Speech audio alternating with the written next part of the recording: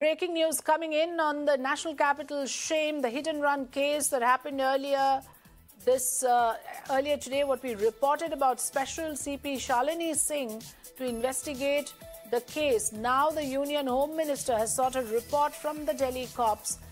The Home Minister has asked for a report to be submitted immediately. What we are getting to know is that uh, Special CP Shalini Singh will investigate the case. The Union Home Minister will have to uh, receive a report on this. Let me, in fact, remind our viewers that this is with regards to the incident that took place in the national capital where a 20 year old girl was dragged on the streets of Delhi by a moving vehicle. As per preliminary reports, after her two wheeler met with an accident with this vehicle, uh, five accused have been identified and arrested who were, who were inside that moving vehicle.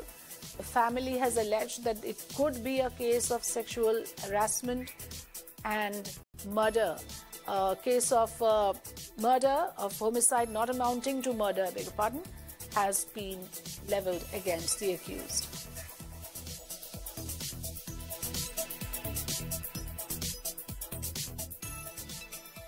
A live bomb